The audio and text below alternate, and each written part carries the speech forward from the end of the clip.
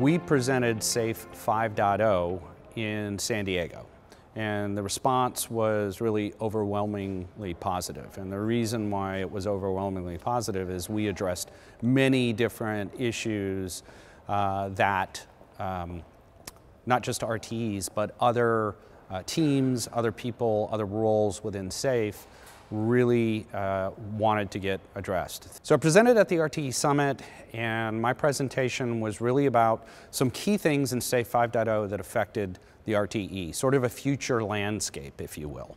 Uh, and so some of those things that I talked about was first and foremost customer centricity.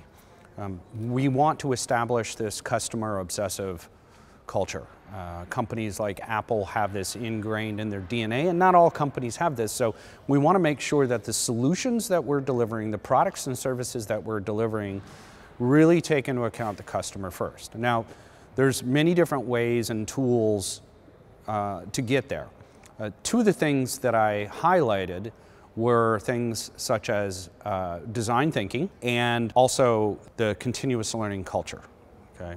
So in terms of design thinking, we talked about some of the dimensions of design thinking. So really uh, things, uh, tools such as empathy maps, uh, tools such as uh, customer centricity, uh, journey maps. These are things that, that RTEs as a role really should have uh, available to their teams. The second point was really around um, culture in terms of learning, continuous learning culture. So we talked about different dimensions along that side. We talked about uh, innovation, um, the concept, uh, this new concept that we called innovation riptides, and how they could develop that type of innovative thinking um, within their teams itself. So one of the things that I talked about was a concept known as innovation riptides.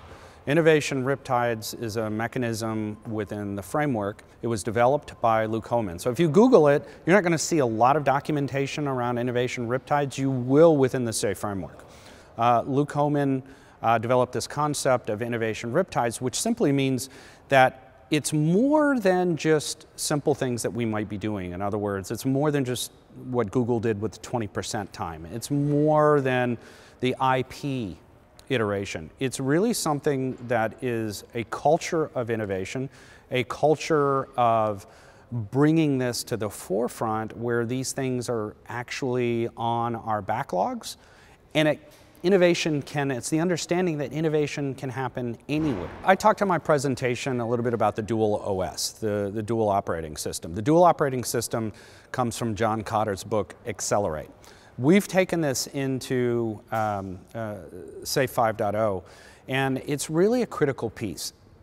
Here's the problem that it solves. In a, in a lot of cases, uh, RTEs will run into resistance. And not just RTEs, but coaches, change agents as well will run into resistance because people don't want to change. And people have roles in an existing organization and they look at it and they go, well, my role's not on the big picture. I don't see it there. I'm going to resist this change because I don't understand this. I don't understand how this is going to affect me. And what Kotter basically says is we really need a dual operating system. One part of our operating system is focused on stability and efficiency. So when a company started up, maybe they had all these different kinds of ideas that were flowing, but over time they've grown. Over time, they've scaled and they have this established hierarchy. Remember, SAFE is about virtual organizations, virtual trains. We don't take things and make them into different organizations. We wouldn't get very far if every time we went into an organization we said, hey, I got an idea, let's reorg, because those are, that's fun.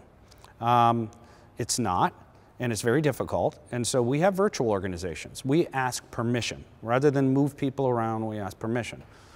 In the dual operating system, we acknowledge that we need both. We need the stability, we need the hierarchies, but we also need the networking side where innovation and creativity and fast ideas uh, and learning comes into account this dual operating system is all about how we marry these two together.